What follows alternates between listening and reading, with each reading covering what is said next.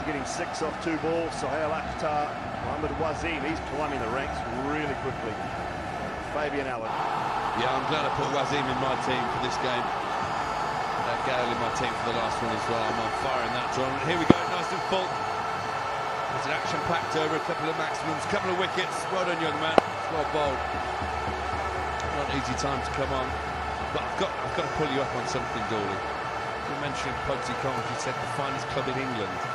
You will not get invited back to the People's Republic of Yorkshire if you say that. That's a good point. You know that as well. it's a very good point. Devon Thomas having a ball, a little bit of right arm medium pace. 13 required. Oh, okay, seven required. Thank you very much. There's Rovman Powell. Now then, talking about bat speed, this has gone as hard and as far as anything in this tournament.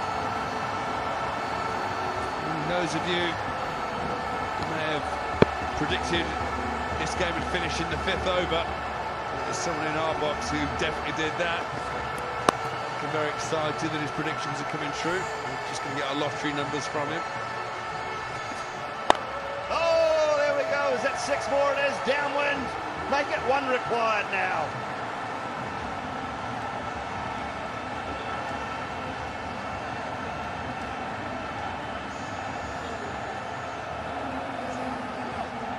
Rovman Powell.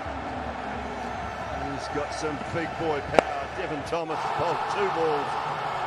Both gone out of the park. One to win.